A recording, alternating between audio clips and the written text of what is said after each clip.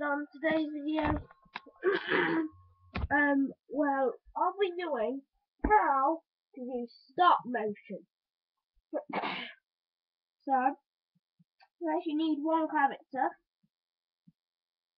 That's me in my school, like, the uniform, and this is the teacher. So, how to do it is, you make the leg move like that. No, no, no. Wait, wait, no, not yet. So you take a picture, and then you move the leg one like that. Well, I'm doing it with Lego. You can do it really with anything else, but so I move the leg like that can do it with the other character as well. Sometimes when you're walking together. And then take another picture. And then move it one space. Put that other leg up.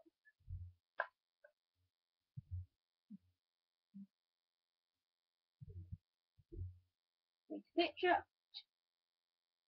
Then you yeah, keep on repeating that Um, until they walk to somewhere or wait let me just go and get a car from downstairs. No car. What you can do it as well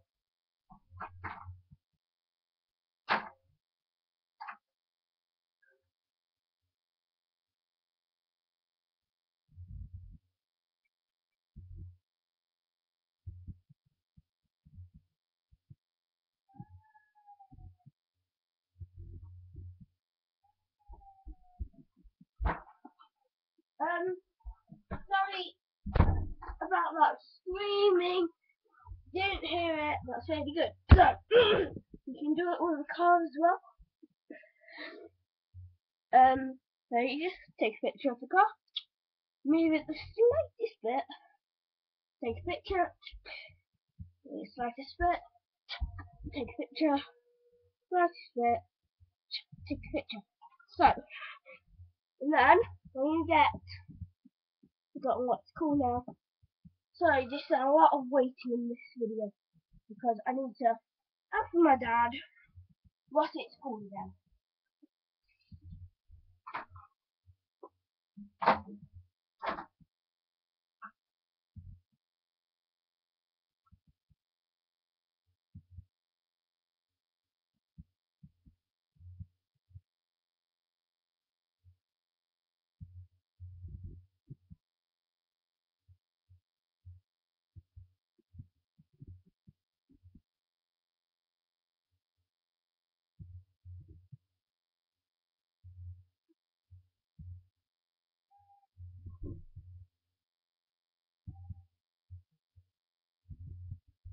Right, Back. Right, so, um, it's called Live Movie Maker. Go on to that.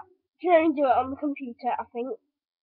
So go on to Live Movie Maker, then, um, then like, get, go, you took it on your phone, um, add them to Dropbox, then the and then it will appear on Dropbox on your computer, and then you can add them to um, Live Movie Maker, then you can watch the whole entire thing. But yeah, um, that's been what's on today's video. Good